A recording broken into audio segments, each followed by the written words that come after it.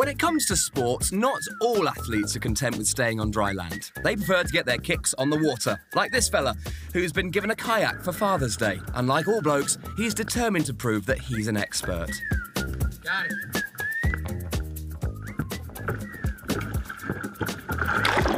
An expert at swimming. This next dad has managed to get his feet into the boat, but the rest of his body is proving more of a challenge.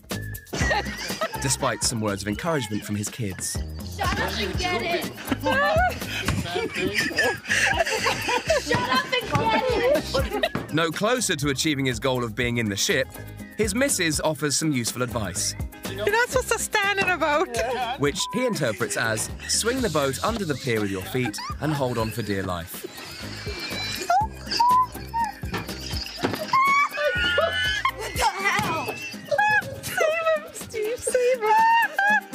Eventually, he ends up waist deep in the water, and his helpful wife does what we all do in the 21st century and continues to film it for us all to enjoy.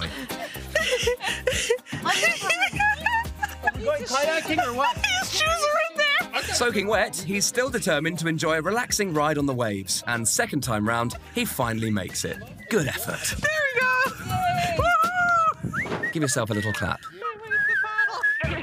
This kayaker is hoping to make a spectacular entrance by launching himself into the river from a bridge. And just to make sure he absolutely nails it, his mates are giving him some tips, Just remember, lean back, Brandon. which are absolutely useless. Lean back.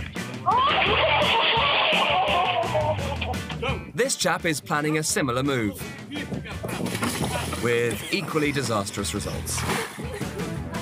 Undeterred, he has another go, and this time his friend joins in with some words of wisdom. You got your paddle upside down.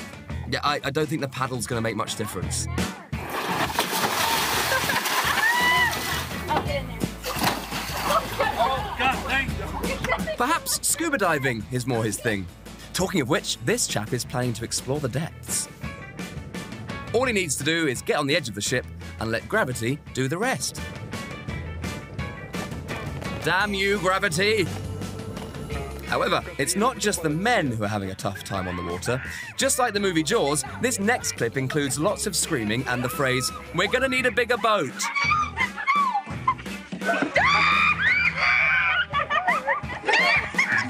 But it's not long until they change the script and decide to remake Titanic instead.